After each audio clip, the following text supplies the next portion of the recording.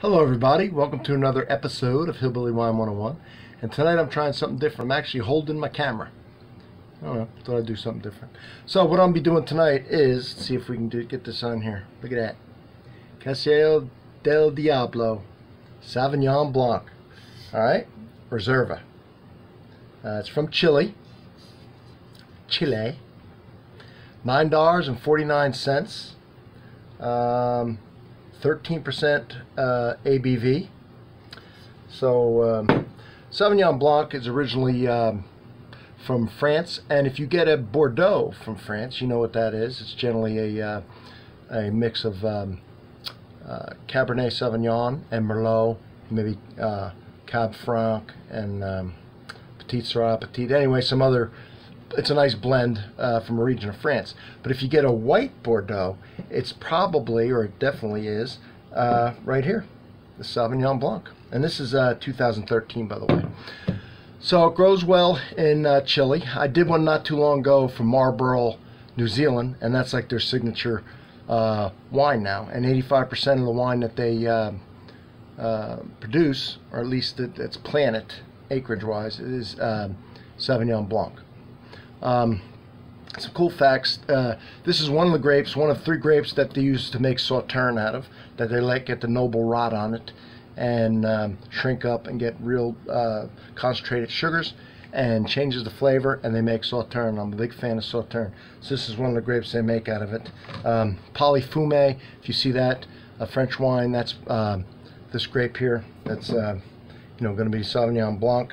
Uh, and a cool little thing, Robert Mondavi, who I've said this on several uh, videos, I actually met him, uh, the original Robert Mondavi, but he, uh, Pouilly-Fumé is the French, um, you know, version of this. So he wanted to sell this at a time in America. He was a pioneer in a lot of ways on a lot of things, and um, uh, Sauvignon Blanc wasn't uh, selling so well. So um, he came up with uh, fume, Pouilly-Fumé, fume blanc, to make it sound more French. And um, it's just a made up word that he made up. Uh, generally, it means uh, a lot of times you see that that the wine has been oak aged, but there's no rule to that. That's just a general rule of thumb. Um, this wine goes good with salads, uh, Asian dishes, a little bit spicy Asian. If you don't like like a sweeter wine like um, Riesling, you can use this uh, seafood salads, asparagus, um, Brussels sprouts. I guess all any salad type stuff. So here it is. It's um, oh pale yellow with I'd say put it up against some white here. Maybe just the lightest greenish hue to it. Um, these are fresh and and um, this was a screw cap. Uh, but anyway, it's fresh and uh, acidic probably. That's what they usually are. Um, uh, this one's from Chile. So what's fun, my last one I did was from uh, New Zealand. It's fun to get different ones from different regions. Um, so let's see what we have here. I just love the smell of it, I really do. Just reminds me of the spring and summer. You know, get this chilled. Hmm. Well, smells smells like some type of plant material.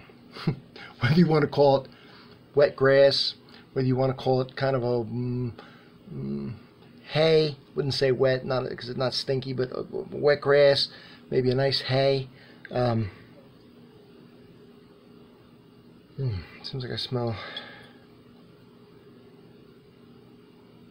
It's vegetative and um, I want to say apples. I want to say apples.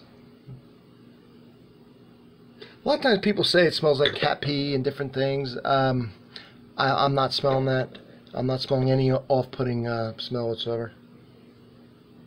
Just smells good. Uh, the vegetative and the uh, apples mixed together smells really good. Mmm. Mm.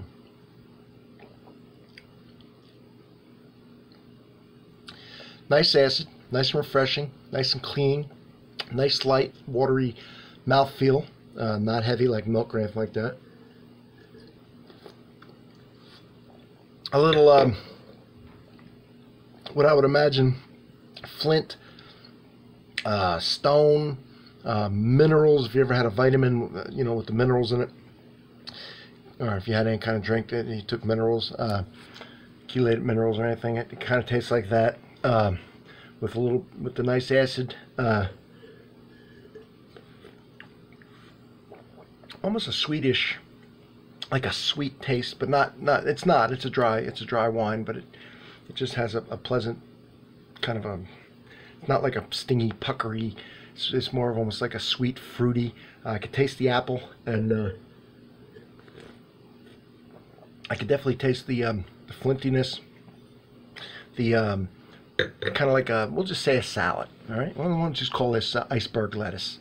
Um, maybe with a little romaine. I'm dead serious on that. Uh, with a little minerality, and uh, I still taste the apple, and I want to say maybe peach or something that's making it kind of sweetish. So great with the, the foods I had mentioned, and chilled, great by itself, sitting on the back porch on a nice warm night. So I hope you enjoyed it, and I hope you give it a shot. And from Hillbilly Wine 101, I would like to uh, say cheers, everybody.